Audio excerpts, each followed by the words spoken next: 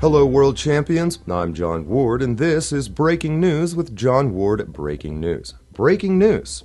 The 2024 election is underway with the Iowa caucuses, the quadrennial opening contest of the United States presidential election primary season. This is normally for both the Democrat and Republican parties, but this year the former have decided that instead, quote, voting on candidates will be done exclusively via mail in ballots from January 12th until Super Tuesday, March 5th, 2024. Breaking news with John Ward. Breaking news can only speculate in a non actionable way as to why the Democrats have opted for this unorthodox approach, and that non actionable speculation is this they're cheating. Of course, the lack of news on the left in no way lessens the singular drama around the Republican projections. The big question on everyone's 5G robo minds is the ominous ecliptical twin umbra of President Donald Trump's cash and prizes hovering over the convention like the balls of Damocles.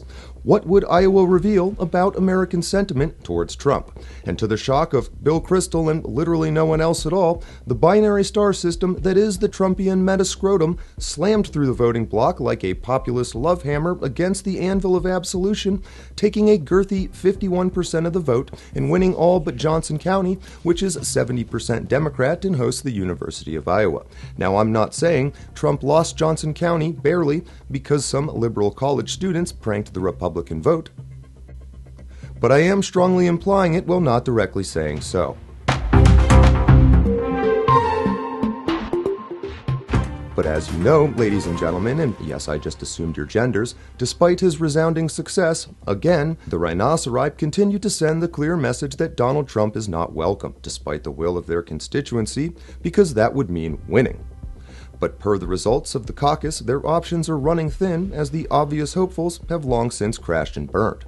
Ron DeSantis is still around, apparently, watching drying paint get bored, watching Ron DeSantis. Nikki Haley was going strong until Nimrata Randhawa showed up, who is Nikki Haley, which is weird. And Vivek Ramaswamy, by far the most entertaining of the bunch, seemed more interested in a nod as Trump's VP until Trump himself put a stop to the ankle biting. Ramaswamy has now officially suspended his campaign. Trump dominates the field. For the sake of completely baseless guessing, which is what the news is for, on the left, there was a brief glimmer of manhood with Robert Kennedy Jr., which then quickly soured with a very different glimmer of manhood, the revelation of his relationship with Jeffrey Epstein. Gavin Newsom is an obvious heir apparent, but like DeSantis, he's pulled the trigger too early and needs another four years to really lock down that relationship with his financiers. China.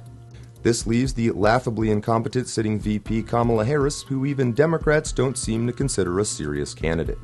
So, in summary, as it currently stands, we are headed for an election where no one who the American people actually want to run will be allowed to run, and if they somehow are allowed to run, then the vote will not be trusted. And if by some miracle said vote is nevertheless peaceably upheld, then a far more sinister resentment will set in and not begin, but simply add to and amplify the rot that is and has been eating away at the foundations of American culture for decades, Western culture for centuries. What I'm saying is, it's going to be a good time. That's it for today. I'm John Ward, and this has been Breaking News with John Ward Breaking News. Until next time, remember, you're a world champion. Don't let your memes be dreams.